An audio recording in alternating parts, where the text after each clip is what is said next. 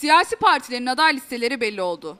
Biz de HRT Akdeniz Haber Merkezi olarak Hataylı seçmenlere Hatay'ı Türkiye Büyük Millet Meclisi'nde temsil edecek milletvekili profili nasıl olması gerekiyor diye soruyoruz.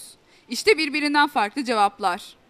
vatandaşla kopmayan, vatandaşın sorunlarına çözüm getirebilecek ve gittiğinde e, biz Ankara'da memleketi e, sahiplenecek ve memlekete hizmet verecek insanlar istiyoruz biz milletvekili olarak. De işte insanların hakkını e, böyle hakkını makkını savunan yani insanları böyle bazı zorluklardan falan böyle şey yapan kişi yani hizmet veren adı üzerinde milletin vekili, benim vekilim olsun, ben milletim, benim vekilim olsun, halktan yana olsun, kendinden daha ziyade milleti düşünsün.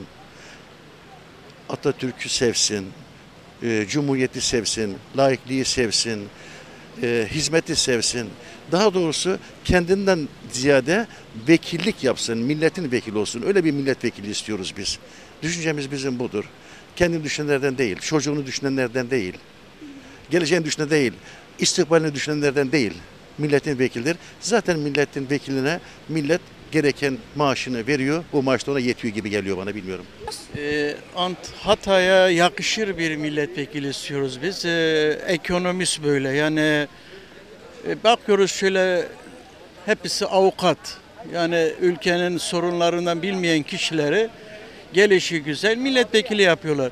Yapın böyle okumuş insanları böyle yüksek tahsil mesela ekonomist olsun, iş adamı olsun e, e, bu türlerde gördüğümüz bütün e, şeylerde avukat, avukat, avukat. Bu avukatlar ne yapabilir? Bunların çoğunluğu yani hep kendi çıkarını düşünen kişiler yani avukatla ben e, kesinlikle kabul etmiyorum.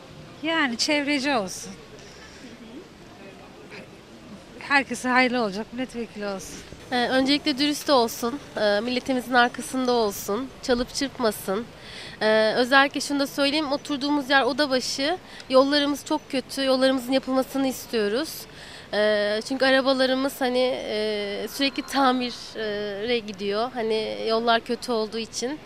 Öncelikle bunu istiyoruz. E, halktan olsun, halkın gerçekten içinden olmasını istiyoruz. E, halkı e, anlayabilecek bir şekilde. Yani her şekilde onların yanında olmasını istiyorum. Hani şöyle e, tarif edeyim. E, vekil sadece orada Ankara'da oturma e, gayretinde bulunmamalı. Nasıl yapmalı?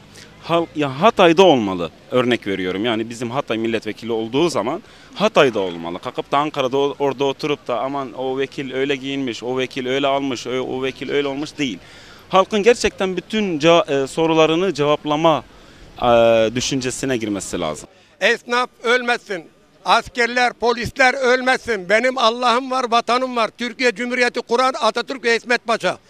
Anayasa idamı koysunlar. Türkiye rahatlar. Rüşvet veren de alan da gidecek. Ama asgari maaş alanlara 2 milyar maaş alması gerekir. vatanını milletini seven bir vekil.